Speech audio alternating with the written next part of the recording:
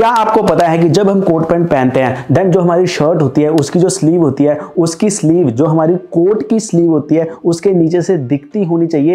एक इंच की one by four वो दिखती होनी चाहिए। तभी ही वो एक परफेक्ट तरीके से कोट पहना जाता है। नहीं था आपको? वेल वही चीज़ें ही तो आपको एक परफेक्ट तरीके से कोट पैंट पहनाएँगी और इस वीडियो में पंद्रह चीज़ों के बारे में बात करेंगे। पाँच नहीं, पंद्रह पंद्रह चीज़ों के बारे में बात करेंगे। पहला आपके कोट की लेंथ कितनी होनी चाहिए? दो हैक बताता हूँ। वो ये है कि जहाँ पे हमारी ये फिंगर्स हमारे हाथ के साथ मिलती है ना, जैसे कि यहाँ पे हमारा देखें, ये अंगूठा यहाँ पे जाके मिल रहा है, जो आपके कोट की लेंथ है, इसके सेंटर में।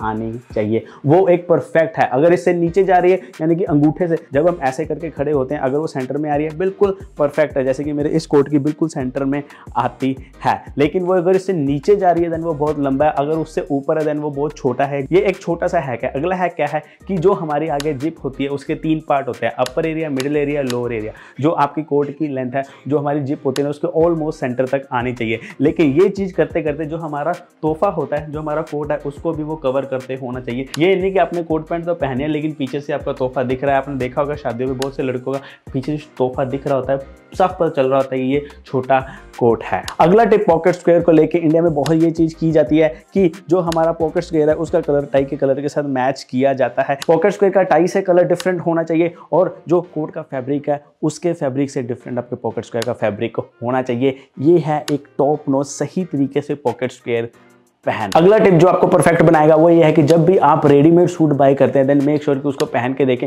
और आपके शोल्डर से जब ऐसे करके सीधे खड़े हो रहे हैं देन आपका जो सूट है वो यहाँ से इकट्ठा नहीं होना चाहिए शोल्डर से यहाँ से इकट्ठा नहीं होना चाहिए। ये सबसे पहला, सबसे आसान तरीका है ये पता लगाने का कि सूट का साइज़ आपके हिसाब से है या नहीं है। जब भी आप टाई क्लिप पहने टाई के ऊपर देन मेक श्योर कि उसकी लेंथ परफेक्ट होनी चाहिए। लेकिन परफेक्ट लेंथ है क्या? कि जो आपकी टाई है, उसका सिर्फ़ जो थर्ड फोर्थ हिस्सा है, वो टाई बार कवर करती होनी चाहिए। अगर वो वन बाई टू कर रही है देन वो बहुत छोटी है। अगर वो उससे ज़्यादा कर रही है देन वो बहुत बड़ी है। ऑलमोस्ट थ्री बाई फोर होनी चाहिए। यानी कि अगर आपकी टाई की लेंथ वन है देन वो सेवेंटी फाइव परसेंट आपका टाई बार उसको कवर करते होना चाहिए। वो होगी एक परफेक्ट सही तरीके से टाई बार पहनना। लेकिन टाई बार जितना आप सिंपल रखोगे टाई बार्स को, उतना ही ईजी होगा उसे पुल ऑफ़ करना। सर्दियाँ आ गई हैं और इंडिया में शादियों का सीज़न भी आ गया है। आपको ज़रूर कोई ना कोई कार्ड तो आया ही होगा, अपने कोट पैंट लेना होगा। लेकिन आप सोच रहे हैं कि आप पहला कोट पैंट कौन सा लें? सबसे पहला कोट पैंट आपको अपनी कलेक्शन में ऐड करना चाहिए। वो ऐड करना चाहिए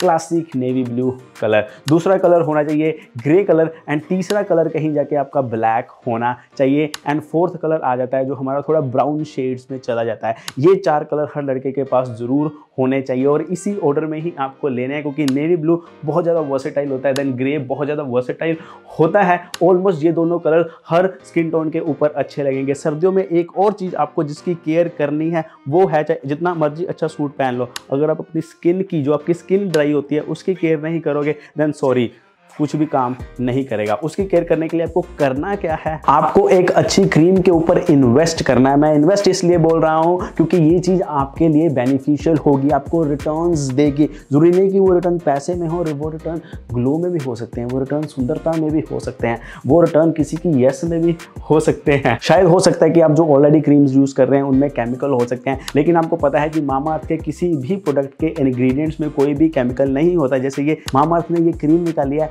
हनी मलाई नरिशिंग कोल्ड क्रीम एक हनी मलाई वेरियंट है और एक उपटन वेरियंट है। मैं हनी मलाई वेरियंट यूज़ कर रहा हूँ, मुझे ये काफ़ी अच्छी लगी। इसमें जो हनी है, वो क्या करता है? वो आपको आपकी अपनी हनी से मिलाएगा, उसके पास लेके जाएगा, ऐसा भी करेगा। अगली चीज़ वो क्या करेगा? वो आपकी स्किन को नेचुरली ग्लो प्रोवाइड करेगा डीप क्लीन भी करता है और पोर्स को ब्लॉक नहीं होने देता है। वहीं जो इसका मलाई है, वो एक एशियन टाइम की टेक्निक है, जो कि बहुत ही परफेक्ट तरीके से मॉइस्चराइजर का काम करती है। So this is a mixture of honey and malai. सच में मैं आजकल यही क्रीम को यूज़ कर रहा हूँ। अगर आपको ये बाई करनी है देन यहाँ पे कूपन कोड आ रहा होगा। अगर आप ये कूपन कोड लगाएँगे मामार्थ की वेबसाइट पे देन आपको मिलेगा ट्वेंटी डिस्काउंट अगर आप आज के ट्रेंड के हिसाब से 2022 2023 के ट्रेंड के हिसाब से कोट पहनना चाहते हो देन मेक श्योर कि जो आपका कोट है, उसके पीछे डबल वेंट हो सिंगल वेंट ना हो। लेकिन वेंट होता क्या है? जो हमारा ये एरिया होता है, इस कटिंग को वेंट कहते हैं। Double vent is the latest trend latest fashion आप देखना, आसपास सिंगल वेंट बहुत लोगों ने पहना होगा, लेकिन डबल वेंट किसी किसी ने पहना होगा। You should go for double vent जो आपको रेडीमेड में मिलना बहुत ज़्यादा मुश्किल है। अगर आप स्पेशल अपने लिए ही फिटेड बनवाते हो देन आप उसे स्पेशल डबल वेंट बोल के ही बनवाओ। ब्रोच और लेपल पेन में फ़र्क क्या होता है? क्योंकि दोनों ही लेपल पे लगते हैं। वेल, लेपल क्या होता है? तो ये एरिया होता है, ये इस पार्ट को हम लेपल कहते हैं। पिन क्या होती है? जो पिन की तरह लगती है और पिन जितनी ज़्यादा पतली होगी, जितनी ज़्यादा एलिगेंट होगी, उतना ही ज़्यादा अच्छा होगा। लेकिन जो ब्रोच होता है, वो पिन की तरह नहीं लगता। वो एक जिसे हम बोल देते हैं सेफ्टी पिन होती है ना, कि उसकी जो पिन होती है, वो दिखती नहीं वो थोड़ा सा सेफ्टी पिन की तरह लगता है, जिसे हम बोल देते हैं कि एक हम मेडल की तरह वो लगता है। आपके सामने यहाँ पे डिफरेंस आ रहा होगा कि लेपल पिन क्या होती है और ब्रोच क्या होता है। लेकिन यहाँ पे एक छोटा सा अगेन बोनस टिप अगर आपने टाइबर बार पहननी है देन लेपल पिन और ब्रोच मत पहने। वहीं अगर आपने लेपल पिन और ब्रोच दोनों में से एक चीज़ पहननी है देन आप टाई बार मत पहने ओवर मत करें। और ये सारी चीज़ें आपको अमेजन पे बड़े आराम से मिल जाएँगी। जैसे कि मामार्थ के प्रोडक्ट भी आपको अमेजन नाइका फ्लिपकार्ट इवन कि अब इनकी ऑफलाइन प्रेजेंस भी है। और आप जो आपके ऑफलाइन स्टोर हैं, उनसे भी पूछ सकते हो इनके प्रोडक्ट्स के बारे में। और सबसे अच्छी बात यह है, वो ये है कि जब भी आप कोई मामार्थ से प्रोडक्ट ऑर्डर करते हो, वो आपका ऑर्डर एक ट्री के साथ लिंक करते हैं और अपनी वेबसाइट पर शो करते हैं मामार्थ की अपनी वेबसाइट पर जो कि आप खुद देख सकते हो। 2025 तक मामा अर्थ का मकसद है कि उन्होंने वन मिलियन ट्रीज लगाने हैं। आपके ऑर्डर के पीछे कौन सा ट्री मैच हुआ है? आप उसे ट्रैक कर सकते हो। अगली मिस्टेक जो मैंने अपने आसपास बहुत देखी है शादियों पे स्पेशली कि जब भी आप अपने कोट पैंट के साथ बेल्ट पहनते हो देन मोटी मोटी बेल्टें मत पहनो मोटे मोटे बक्कल वाली बेल्टें मत पहनो थिन बेल्टें पहनो, जितने एक पर्टिकुलर साइज़ में होनी चाहिए। मोटी मोटी मोटे मोटे बक्कल वाली नहीं, एक जेनुअन जो हमारा बक्कल होता है ना, वो पहनो। यहाँ पे आपको कंपैरिजन आ रहा होगा कि कौन सा पहनना है और कौन सा आपको नहीं पहनना है, और ये बिल्कुल भी नहीं पहनना है। और अगली चीज़ भी आसपास बहुत देखी जा सकती है, आपने खुद देखी होगी वो है टाई की लेंथ लेकिन आपकी टाई की परफेक्ट लेंथ होनी कितनी चाहिए?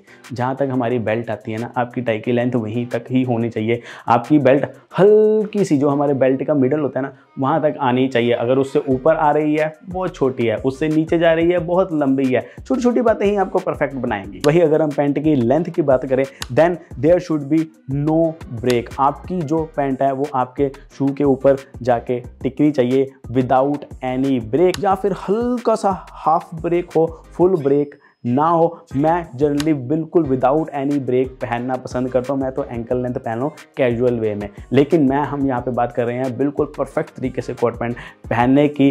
विदाउट ब्रेक पहनो वहीं फिर आपको सॉक्स कौन से कलर की पहननी चाहिए? आपको सॉक्स शूज़ के साथ मैच करनी चाहिए या फिर आपकी पैंट के साथ मैच करने चाहिए? आपको आपकी सॉक्स पैंट के साथ मैच करनी चाहिए। शूज़ के साथ मैच नहीं करनी चाहिए। नाउ आपकी बेल्ट का कलर और आपके शूज़ का कलर क्या होना चाहिए? ये दोनों आपस में मैच करते होने चाहिए और आपकी जो वॉच है, उसका जो बैंड है, उसका कलर भी आपके शूज़ और बेल्ट के साथ मैच करता होना चाहिए। येस कोट पैंट को पहनने के बहुत फिक्स्ड रूल हैं। अगर आपको एक सही परफेक्ट तरीके से कोट पैंट पहनना है, इसीलिए आपने देखा होगा कि बहुत कम लड़के एक सही तरीके से कोट पैंट को पुल ऑफ़ कर पाते हैं। इन छोटी छोटी बातों का ध्यान रखना अगर आप सही तरीके से कोट पैंट पहनना चाहते हो तो मामाज की क्रीम्स का लिंक नीचे डिस्क्रिप्शन में दिया गया है। ट्वेंटी परसेंट डिस्काउंट आपका अगर आप ये कूपन कोड लगाते हो, आपको मिलेगा मामाज की वेबसाइट के ऊपर। हैश इस विंटर ग्लो नेचुरली। मैं आपका यार दोस्त ऋषि अरोड़ा साइनिंग ऑफ़। मिलते हैं अगली वीडियो में कुछ ऐसे ही हार्ड कंटेंट के साथ।